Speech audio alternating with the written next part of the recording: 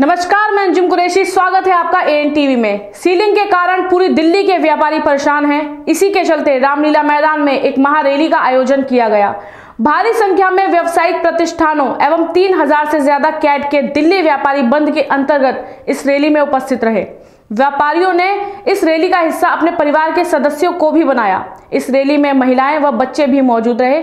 देखिए हमारे संवाददाता मुकेश गुप्ता की यह रिपोर्ट। इस वक्त हम मौजूद हैं रामलीला मैदान में, जहाँ पर तरह तरह के विरोध प्रदर्शन किए जाते हैं। लेकिन आज जो विरोध प्रदर्शन किया जा रहा है, वह दिल्ली के व्यापारियों द्वारा किया जा रहा है। क्योंकि पिछले तीन महीने से लगातार जो सीलिंग का सिलसिला चल रहा है, उससे काफ़ी व्यापारी परेशान हैं और वे अपना विरोध प्रदर्शन करने के लिए आज ये रामलीला मैदान में मौजूद हुए हैं। सारे के सारे जो दिल्ली के व्यापारी हैं, लगभग सभी यहाँ पर एक साथ इकट्ठे हुए हैं ताकि वे अपना विरोध ज़ाहिर कर कर सरकार का ध्यान अपनी ओर आकर्षित कर सके हैं। क्योंकि कहा जा रहा है कि ये जो पूरा सीलिंग का सिलसिला है वह दिल्ली हाई कोर्ट द्वारा उनकी मॉनिटरिंग कमेटी जो बनाई गई है, वह कर रही है। वहीं राजनीतिक पार्टियों की बात करें तो वह सिर्फ़ प्रत्यारोप कर रही हैं एक दूसरे पर, लेकिन व्यापारी वहाँ पर परेशान हैं।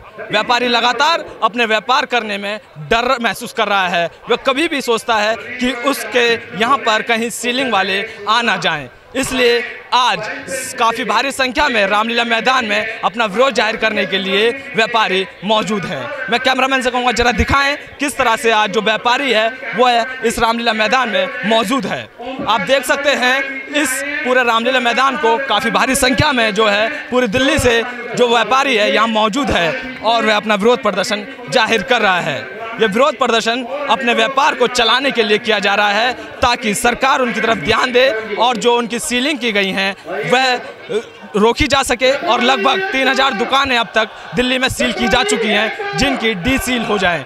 इसलिए ये विरोध प्रदर्शन किया जा रहा है और सरकार से मांग की जा रही है इस पूरे सिलसिले में हस्तक्षेप करे केंद्र सरकार भी और दिल्ली सरकार भी। आज बंद के दौरान पूरी दिल्ली से यहाँ व्यापारी पहुँचे। इन व्यापारियों को एकजुट कर महारैली का आयोजन कैट के राष्ट्रीय महामंत्री प्रवीण खंडेलवाल ने किया। इस महारैली के मंच पर दिल्ली के विभिन्न व्यापारी संगठनों के अध्यक्ष मौजूद रहे। इस मौके पर प्रवीण खंडेलवाल ने व्यापारियों को संबोधित करते हुए कहा कि दिल्ली नगर निगम कानून उन्नीस सौ सत्तावन में लोगों को दिए हुए अधिकारों की धज्जियाँ उड़ा रही है। न कोई दलील है, न कोई अपील और न कोई वकील है। और ये व्यापारी सीलिंग के नाम पर सरेआम अपमानित हो रहे हैं।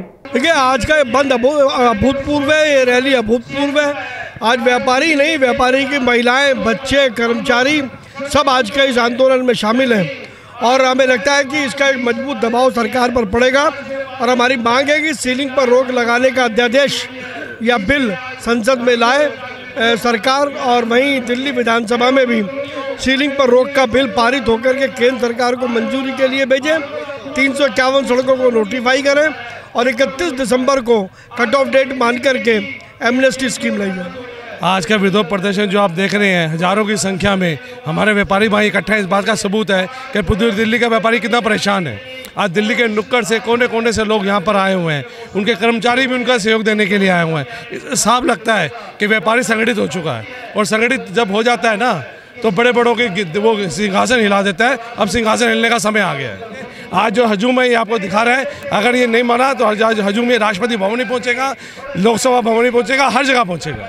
हम तो ये कहते हैं कि गवर्नमेंट को एक बात क्यों समझ में नहीं आती है गवर्नमेंट में चलाने का मेन चले जाता है। दिल्ली के व्यापारियों को, हिंदुस्तान के व्यापारियों को जाता है। एक व्यापारी है जो हर तरह के टैक्स देता है। Sale tax, income tax, house tax और लग्जरी टैक्स, हर तरह के टैक्स देता है। और गवर्नमेंट किसी भी मुल्क की खुशहाली जो होती है, वो बिज़नेस मैनों से नज़र आती है। अगर बिज़नेस मैन खुशहाल नहीं है तो वो मुल्क खुशहाल नहीं हो सकता। मैं इदरीस खान बोल रहा हूँ, एसोसिएशन का सदर एंडी गिराफ जूरली का। यहाँ पर इलाके के अंदर कन्वीनियंस चार्ज मांग रहा है, जो छोटे छोटे ठीए हैं, उनसे भी मांग रहे हैं। और कार पार्किंग मांग रहा है, जिसमें गलियों में चलने की जगह नहीं है। तो कहते ये हैं कि कार पार्किंग इसलिए ले रहे हैं, और जगह कार पार्किंग में बनाएँगे तुमसे। तो हमारा क्या चार्ज है? जो जो बेचारे सुबह से शाम तक पचास सौ रुपये कमाते हैं, वो कहाँ से देंगे? ये बताओ ये गवर्नमेंट ये नहीं देखेगी कि अवाम व्यापारी परेशान है। अब हम सब व्यापारियों ने एक होके एकता करके आंदोलन करा है। या तो हम मर जाएँगे मार देंगे। हमें गवर्नमेंट को अगर हमें सही करना है और अपनी गवर्नमेंट की हुकूमत का सही आंदोलन करना है अगर हमारे साथ इंसाफ नहीं हुआ तो हम आगे इससे भी बड़ा आंदोलन करेंगे। इस मौके पर विश्वास नगर के बीजेपी विधायक ओम प्रकाश शर्मा भी व्यापारियों के बीच पहुँचे और एन टीवी से बात की। देखिए क्या कुछ कहा विधायक ने। आप देख रहे हैं, आप काफ़ी भारी संख्या में रामलीला मैदान में लोग पहुँचे हुए हैं अपना विरोध ज़ाहिर करने के लिए। इस पर आप क्या कहेंगे? हर ज़ोर जुलम की टक्कर में संघर्ष हमारा नारा है। आज दिल्ली के व्यापारियों के साथ मॉनिटरिंग कमेटी उनके नागरिक अधिकारों को हनन कर रही है। अब ये मामला व्यापारियों का नहीं रह गया है। अब मामला ये है कि संविधान संवत जो नागरिक अधिकार हैं, मॉनिटरिंग कमेटी और मॉनिटरिंग कमेटी के द्वारा नियुक्त किए गए लोग जो सड़कें नोटिफाई नहीं हैं, वहाँ पे नोटिस देकर कॉम्पिटेंट अधिकारी कॉरपोरेशन के उन लोगों से कन्वर्जन चार्ज लेते हैं और जब कन्वर्ट चार्ज लेने के बाद उन दुकानों को सील किया जाता है, ये अनजस्टिस है, ये उनके नागरिक अधिकारों को हनन है। दूसरी बात, किसी भी दुकान को सील करना, चाहे वो कन्वर्जन चार्ज की वजह है या और कोई वजह है, उसको नोटिस दिया जाना चाहिए कम से कम पाँच दिन का और उसको, उसके कागज़ दिखाने और उसको अपना पक्ष रखने का समय दिया जाना चाहिए। आज मॉनिटरिंग जो कमेटी कर रही है, ये मनमानी है। इसके अलावा उन्होंने एक जजिया कर लगाया हुआ है, जिसकी भी दुकान सील करते हैं, चाहे वो सही है या गलत है, एक लाख रुपए की जो प्रोसेसिंग चार्ज है ये भी संविधान सम्मत नहीं है और ये जजिया कर है और दिल्ली के नागरिकों को आतंकवादियों की तरह अगर ट्रीट कर रही है तो हम इस मॉनिटरिंग कमेटी की निंदा करते हैं। आज सीलिंग से दिल्ली के व्यापारियों को जिस तरह से परेशानी होने के बाद विरोध प्रदर्शन कर रहे हैं, यह बहुत निंदनीय है। व्यापारियों की परेशानियों को देखते हुए सरकार को इस और ध्यान देना चाहिए। हमारी खास रिपोर्ट में फ़िलहाल इतना ही। दीजिए हमें इजाज़त। नमस्कार।